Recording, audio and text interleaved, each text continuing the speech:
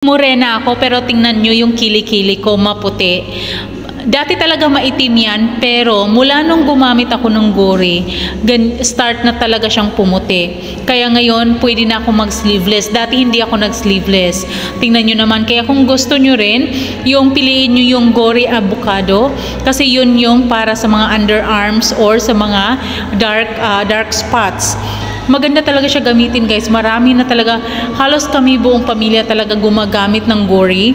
Dahil yung nag-recommend namin yung sister-in-law ko. Tapos legit kasi siya.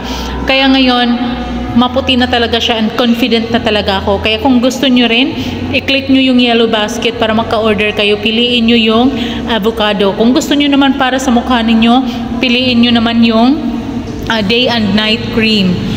So ano pang hinihintay ninyo? Kung gusto nyo talagang pumuti yung kilikili nyo, click nyo na yung yellow basket para maka-order at ang bilis lang din talaga ng kanilang delivery.